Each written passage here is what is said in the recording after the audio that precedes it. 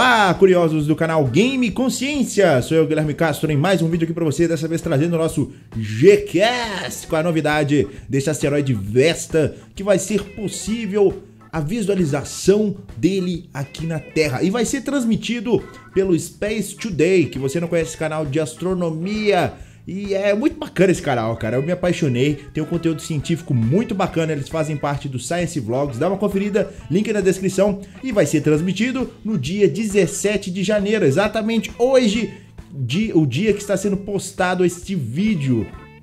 Então dá uma olhada aí no canal Space Today e fica ligadinho nessa transmissão, porque vai ter mais novidades na transmissão além do asteroide Vesta. Vesta, que é o segundo maior asteroide na região de cinturões de asteroides localizado entre Marte e Júpiter, tem seu diâmetro de 530 quilômetros, o que dá a ele a segunda posição entre os maiores asteroides. É um asteroide relativamente grande, cara. E, pô, está uma distância de 2,36 unidades astronômicas, o equivalente a 188 milhões de quilômetros de distância do Sol, cara. É muita coisa, é muita coisa. E ele é um grande influenciador dos meteoritos que caem aqui na Terra, devido à sua influência gravitacional na região dos de cinturões dos asteroides. É um asteroide do tipo 5. Seu tamanho e seu brilho na superfície facilitam a sua visão a olho nu aqui da Terra, né? A olho nu aqui da Terra é, é lógico que tem que ser daqui. Mas isso ocasiona a sua visibilidade aqui na Terra, o que é muito bom para as funções de estudos. Provavelmente ele tem uma estrutura em camadas, com seu interior de níquel e ferro e seu manto coberto de Olha o nome diferente, gente. Olivina, que é o manto, que são compostos de silicato de magnésio e ferro.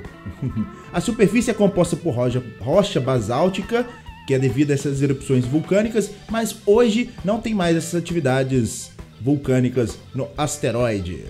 Em julho de 2011, a NASA enviou uma sonda chamada Dawn. A sonda Dawn foi enviada para orbitar Vesta e logo em seguida orbitar também Ceres, que atualmente está lá para questões de estudos de, de, de asteroides, para ver essa composição das origens do universo, da, do sistema solar e coisas do tipo, beleza?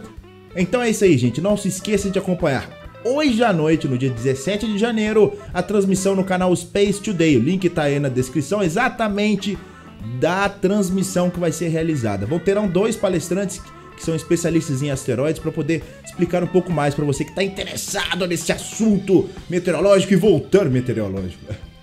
Meteoritítico, sei lá, esse, esse assunto meteórico para você aí no canal Game Consciência trazendo esse Gcast apoiando a ideia do Space Today, esse canal que tem boas novidades e conteúdo científico relacionado à astronomia, beleza? Eu vou ficando por aqui então, não se esqueça de se inscrever no canal. Se já não é inscrito, dê seu like, o feedback é muito importante e o que você acha de novidades científicas que você quer ver. Além disso, participe também do nosso Discord, pois lá tem um canal para a gente discutir esses assuntos científicos que você confere aqui no nosso Gcast. Beleza? Vou ficando por aqui então. Um abraço para você. Até o próximo episódio. Tchau, tchau.